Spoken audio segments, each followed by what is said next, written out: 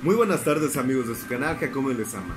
En esta ocasión te traigo de la casa de Metter Barbados Cherry.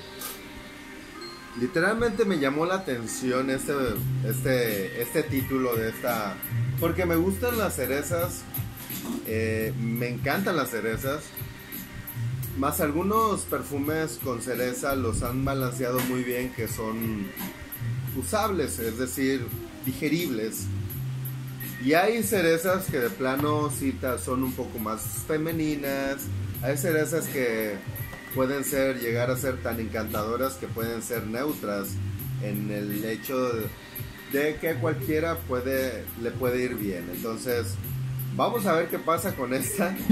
Porque ya he tenido experiencias con Demeter en donde o es muy impactante o es como que muy, mm, oh, genial. O un simple, Son aromas que al final de cuentas eh, tienen un propósito, un cliente más exigente en ciertos aromas. Y esto más que nada captura momentos, más que intentar ser un perfume de diseño. Para aquellos que se preguntan, de Merer es una, es una casa nicho porque solamente se dedica a hacer esto y lo hace con muy buenas eh, muy buenas prestaciones. Aquí tenemos un trío también y este son, son tres. E incluso esta se puede mezclar entre las entre la entre las fragancias y te dice cuánto utilizas de cada una. Un spray de Provence eh, dos de Sandalwood y tres de Early Green Tea. Entonces, pues está interesante porque lo puedes hacer con más connotación herbácea, más jabonosa. Está muy padre este. Pero no hablemos de este porque ya sí ya tengo un unboxing, te invito a verlo, búscalo así como tal. Y después vemos. Ahorita vamos a ver qué tal. Ya desde aquí me llega el aroma, es un aroma potentísimo a cereza. Mm, ya, ya recorrió todo mi, mi sistema olfativo, incluso hasta la garganta. Y no estoy hablando de sensorial que llega al cerebro, sino del que, del que te hace degustar las cosas. un spray en la caja. No me quiero, no me lo quiero poner eh, porque uf, parece un parfum esta cosa y es un colon spray, pero está denso, denso, denso.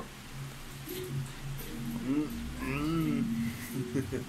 Mira, es como una cereza en almíbar, cuando la muerdes y sientes ese intenso de del fruto de cereza, pero aquí hay algo más agregado que parece ser como confitura. Esto le otorga como una, mm, digamos, cereza acaramelada y gelatinosa a la vez, como una gelatina de cereza.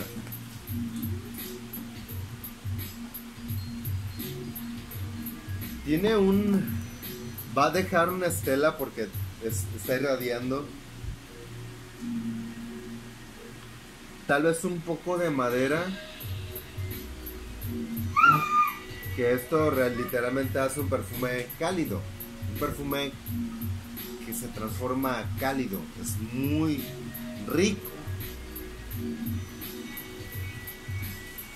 Se antoja como para momentos estás cocinando.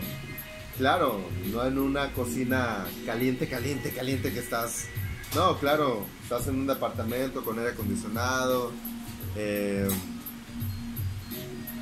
o más bien en invierno, claramente estás cocinando galletas o cosas así, cosas gourmet.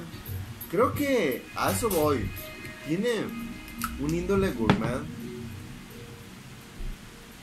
y eso lo hace atractivo unisex, claro, no hay algo que se diga, defina completamente soy femenino o soy masculino. Es un perfume que literalmente se queda como memoria olfativa para quien guste disfrutar de ese aroma de cereza intensa, confitada y repito, como caramelada, del tipo también gelatina,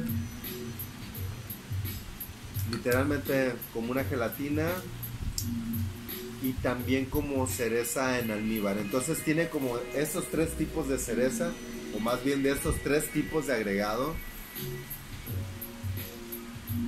Y es lo que más bien mi memoria olfativa es lo que me recuerda. Es como una gelatina de cereza, como una cereza confitada, acaramelada y una cereza en almíbar recién mordida. No al almíbar, sino literalmente a la pura cereza. Y reluce algo frutal, algo frutal rojo, que podría yo decir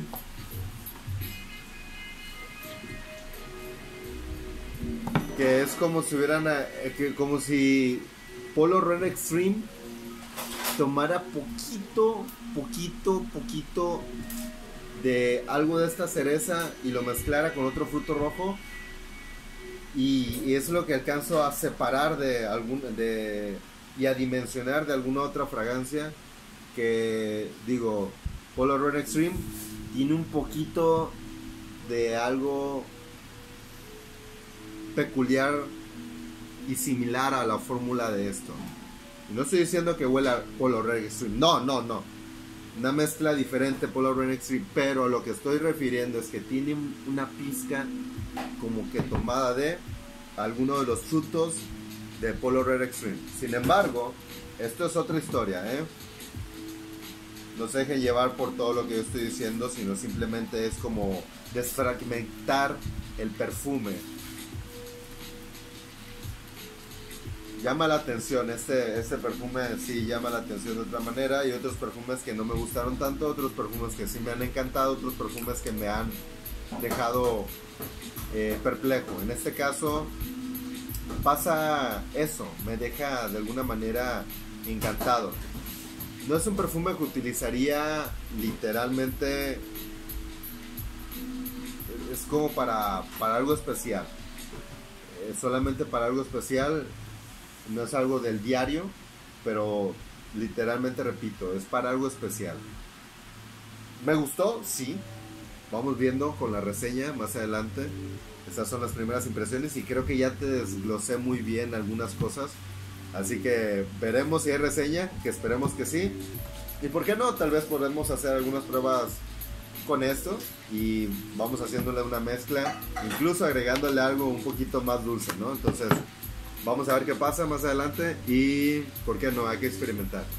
Les mando un saludo, un agradecimiento también y sin más también te pido que por favor te vayas a Olimpo Profumístico en Facebook, también dejaré algunas piezas en venta y dale like al, al, video.